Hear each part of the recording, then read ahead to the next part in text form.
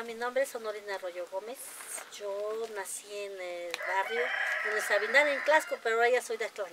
Bueno, mis, yo tengo seis hijos. Este, gracias a Dios todos con carrera.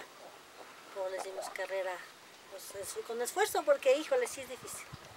Había veces que no había ni para el pasaje, pero Dios nos ayudó y salía. Yo le agradezco mucho a mi mamá, que ella fue la que nos enseñó. No nos dio escuela porque éramos muchos, éramos 11, pero nos enseñó a salir adelante en lo, en lo que nos dio. Bueno, este, desde los seis años yo cuido ganado. Y por eso no pudimos, no pude ir a la escuela porque no había quien cuidar el ganado. Llegué a cuidar 100 borregas y 40 vacas. Tenía yo ocho años cuando se quema la casa y mi mamá se había ido a traer el agua. Ya desde entonces me dejó la ordenado que le di comer a dos de mis pequeñas hermanas. Cuando se quemó la casa empezó a bailar la maca, levantó, corrí, cojo- cogí a mi hermana y la fui a aventar allá a un surco. sí, toda su casa. sí, se desapareció. ¿Por qué?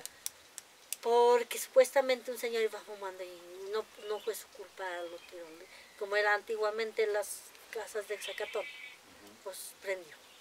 Nos fuimos a, un- a una casa ocho días y luego mi, mam- mi papá rascondo otra vez le fue Zacatón y ahí vivíamos en un cuartito este, enterrado.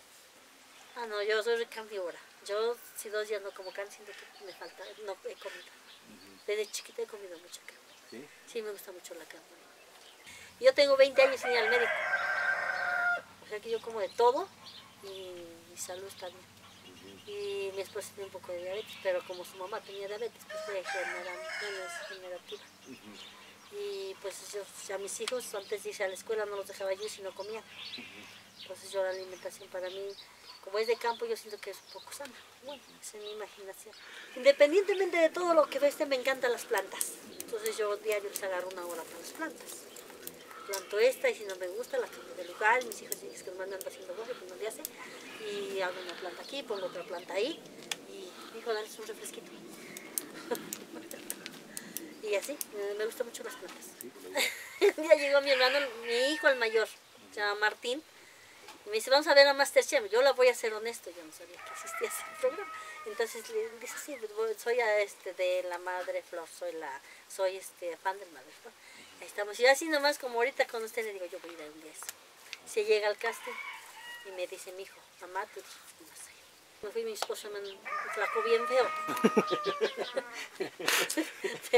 sí, se me enfermó, ya me daba susto.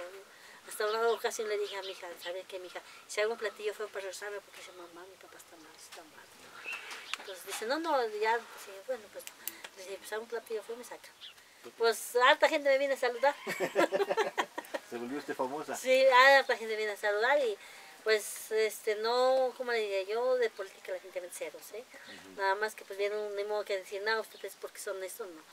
Buenas tardes, que me gusta y ahí, nada más. hasta ahí. Pues por lo menos como tres familias al día. Yo sigo siendo la misma en mi casa, lo mismo como, sigo haciendo, todavía veo todos mis animales, todavía antier inyecté todo el ganado, yo sigo siendo la misma.